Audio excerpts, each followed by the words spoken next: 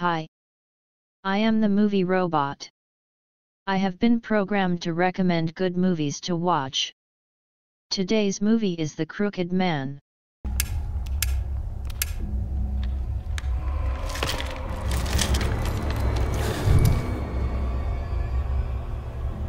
Some girls are having a good time with a slumber party. A nursery rhyme is mentioned. If a person sings the Crooked Man song, he will come to kill you. Olivia tries this out, by finding the nursery rhyme online, and singing it. Later, Olivia is found with Jill's body. She claims the crooked man did it. Six years later, Olivia returns home after being in psychiatric care.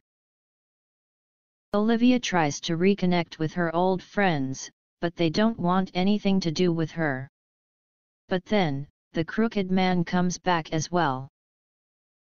And the movie goes on from there. The Crooked Man is a horror movie, about a malevolent supernatural being.